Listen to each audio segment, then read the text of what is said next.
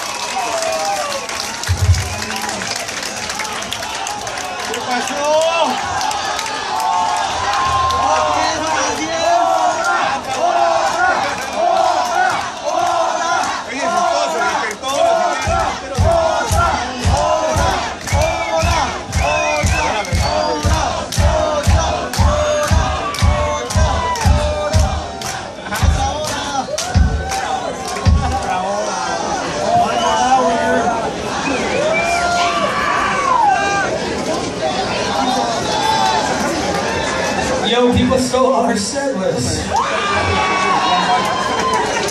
But we got one. Hold on. Let's just see what we can play.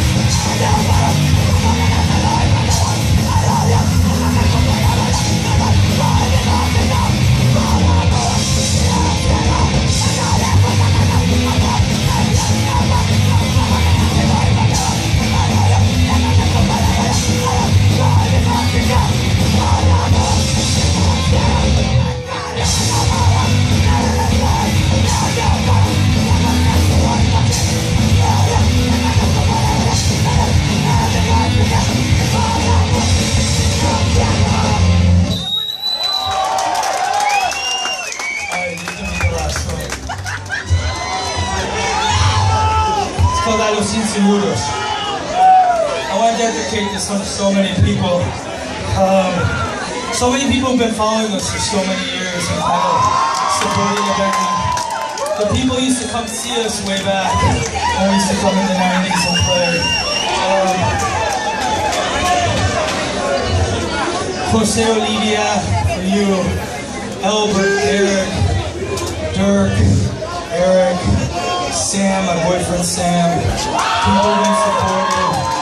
Um, fuck, man, there's so many people, there's so many old schoolers that I know here. Um, bro, Raquel, I know Raquel's here, her, her girlfriend back in the day.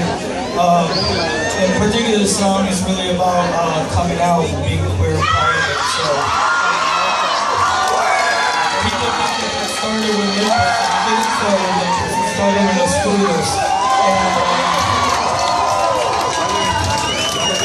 friends who are queer who are coming out, be supportive, show them love. I, I can imagine there's no worse feeling than having friends turning your back on you. Sometimes that happens and it's fucked up. It's our last song, Ashes at those who yeah? Bueno, vamos a ver si